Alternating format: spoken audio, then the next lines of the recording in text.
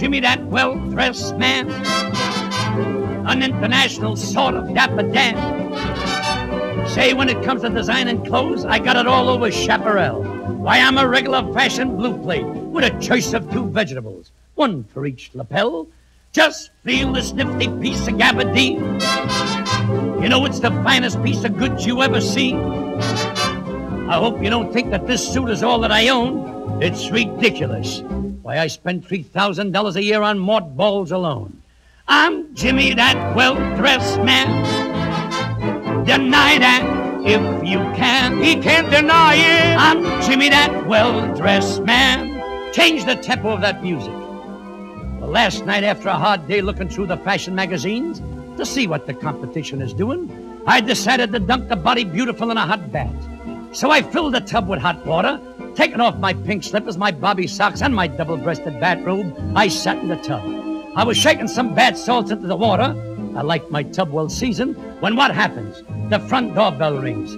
So I gets out of my hot tub, puts on my bobby socks, my pink slippers, and my double-breasted bathrobe, goes to the door, and who is it? But my neighbor, Mrs. Schwartz. She wants to borrow a lump of sugar to put into a coffee. I gives her a lump of sugar for a coffee, and back I goes into the bathroom. I takes off my pink slippers, my bobby socks, and my double-breasted bathrobe, and again reclines in my nice hot tub.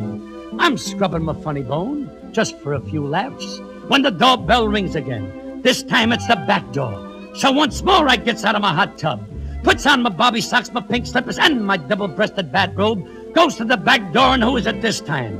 What a small world. It's Mrs. Schwartz again. She's returning a lump of sugar, which is still damp from the coffee. Very considerate.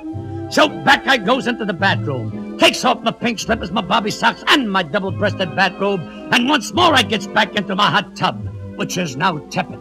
I'm just starting to relax, playing with my sailboat, when again the doorbell rings.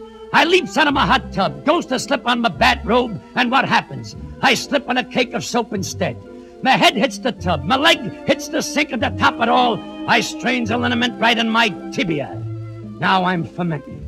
So I drags myself to the telephone, calls my physician, explains what happens to me, and said, Doc, what shall I do? He says, Durante, there's only one thing to do. Stay home and take a hot bath. This is the final humiliation. But even though I'm laid up and Horsley combat too, my bandages are monogrammed and trimmed, yes, in baby blue. Yes, I'm Jimmy, that well-dressed man.